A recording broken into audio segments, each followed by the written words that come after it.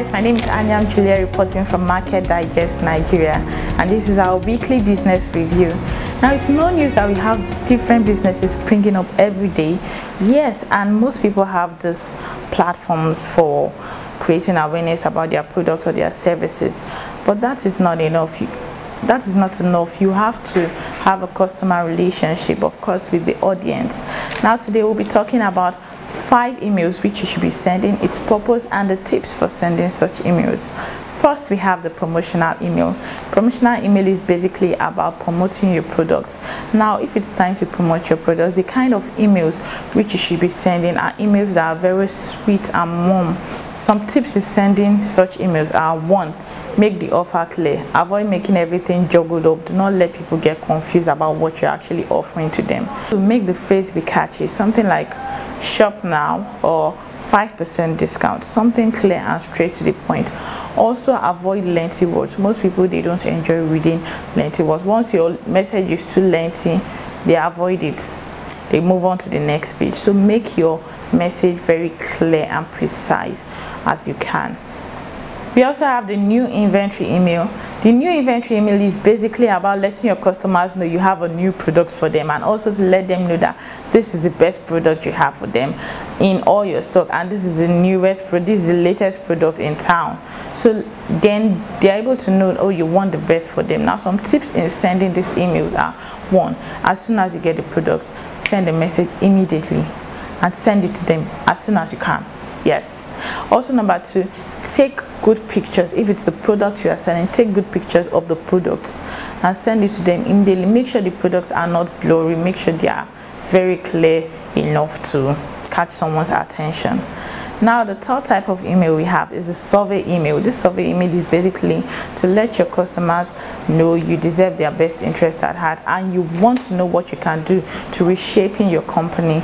Also what they would prefer. Maybe if there's a service you've been offering for them before and maybe they want something, a new change or something. Most people might not have the access to get through to you. But then again, when you have the survey, it will make them know, oh, this person has this um, this um, business owner wants the best for us. Now some tips in creating such emails are one, make sure there is a clickable and easy clickable link for the survey. Avoid beating around the bush. Maybe if you want to send them maybe a link for the survey, just please put the clickable link there. Immediately they click on the link, it goes straight to the survey. Also make them know that the survey is basically about their benefits. It's just because you want to serve them better. The fourth kind of email we have is the newsletter email. Newsletter email creates brand awareness. It lets people know everything about your brand, whatsoever thing you offer to the public, it lets them know about it. Also, if the day you'll be having your discount sales, the day you'll be having a new product in town, it lets them know everything about this product, the newsletter email, like I said. So some tips in creating the newsletter email are one make sure your contents and your images are separate.